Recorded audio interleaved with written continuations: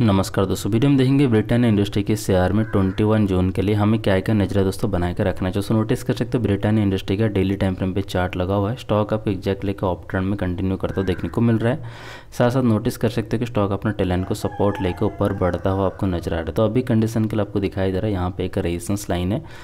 Resistance line था four four six eight four का था रेजिस्टेंस लाइन और इसके ऑलरेडी इसको ब्रेकआउट कर चुका है। मतलब कि ये बन गया अभी इसका support line next support line आपको देखने को मिल रहा है डबल फोर एट थ्री या डबल फोर एट फोर का। दोस्तों ब्रिटानिया इंडस्ट्री के शेयर में अगर इसमें नेक्स्ट ट्रेडिंग सेशन की बात करें कि नेक्स्ट ट्रेडिंग सेशन में कौन से कौन से लेवल्स पर ध्यान रखना चाहिए तो आपको देखने को मिल जाएगा support line five double zero seven का। दूसरा सपोर्ट लाइन देखने को मिलेगा four nine five four point double five का। तीसरा रहेगा दोस्तों फोर नाइन वन टू का।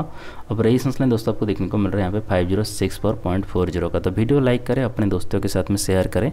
चैनल को सब्सक्राइब करें साथ साथ बेल आइकन भी दबा लीजिए। Thank you